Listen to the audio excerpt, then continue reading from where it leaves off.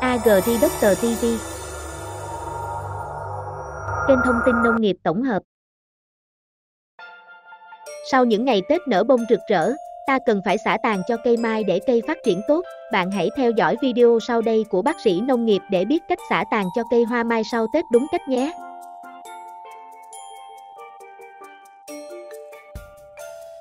Vậy việc xả tàn cho mai có tác dụng gì? Bạn hãy theo dõi ngay sau đây.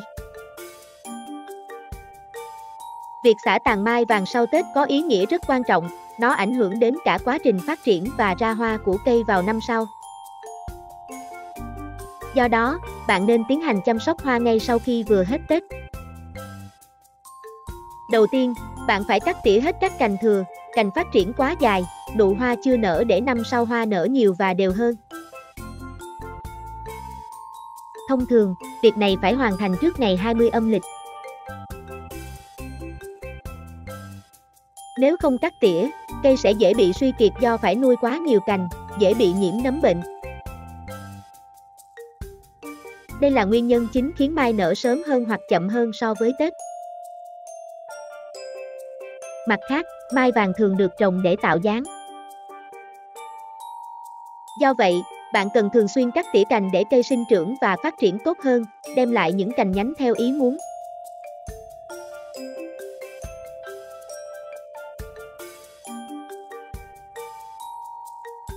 Tiếp theo ta cùng tìm hiểu về thời điểm xả tàn cho cây hoa mai.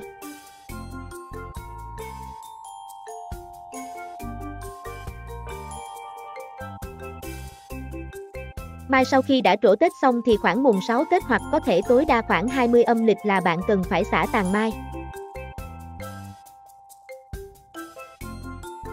Nếu bạn xả tàn càng sớm thì khi mai sẽ được nuôi sớm và phát triển tốt hơn. Vì đối với mai chưng Tết thì cây sẽ bị mất rất nhiều sức do bạn thường đặt trong nhà. Do đó nếu không xả tàn sớm mai không đủ sức để nuôi thân, nên cần phải xả tàn cành càng sớm càng tốt.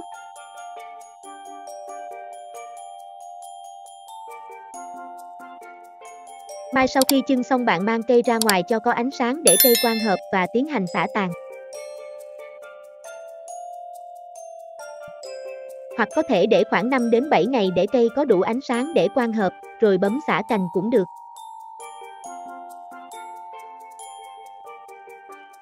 Riêng đối với những cây mai để bên ngoài, hoặc mai vườn thì bạn có thể xả sớm hơn vào mùng 6 âm lịch.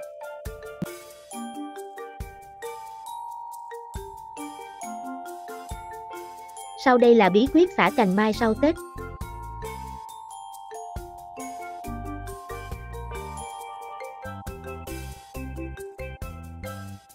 Cần quan sát tổng thể cây mai trước khi thao tác. Quan sát tổng thể cây mai bao gồm hướng, cấu trúc phân cành, hình dáng gốc, kích thước lá. Bạn hãy căn cứ vào hình dáng tổng thể bên ngoài để chọn mặt ngắm đẹp nhất, kết hợp với sự sáng tạo của bạn để có thể tạo hình dáng chuẩn nhất. Đồng thời, bạn cần xem xét tương quan giữa thân chính và các cành lớn để quyết định đến hướng sinh trưởng của cây sau này. Tiếp đến ta tiến hành tỉa các cành lớn. Dùng cưa cắt cành tại vị trí đã đánh dấu. Vết cắt phải phẳng, nhẵn. Dùng keo liền sẹo bôi lên để cây nhanh lành vết thương và tránh bị các vi sinh vật gây bệnh xâm nhập. Đối với cành nhỏ, bạn kéo cắt tỉa các cành nhỏ. Cành vượt gốc có thể cắt sát gốc cành để loại bỏ. Cành ngoài bìa tán thì cắt sửa theo hình dáng đã định. Lưu ý chồi mọc theo hướng nào thì cắt chừa lại mắt ngũ sát nách lá theo hướng đó. Vị trí cắt cách mắt tối thiểu 1cm. Việc thay đổi môi trường cây sau khi tỉa cành cũng cần được chú trọng. Thường phải để trong mát khoảng 2 tuần mới đưa cây ra ngoài nắng. Khi lá ra đầy đủ thì có thể bón thêm một lượng phân vừa đủ lấp gốc. Không nên bón quá nhiều vì bộ rễ lúc này chưa hồi phục hoàn toàn sẽ không hấp thu hết, có thể dẫn đến cháy rễ, ngộ độc phân bón.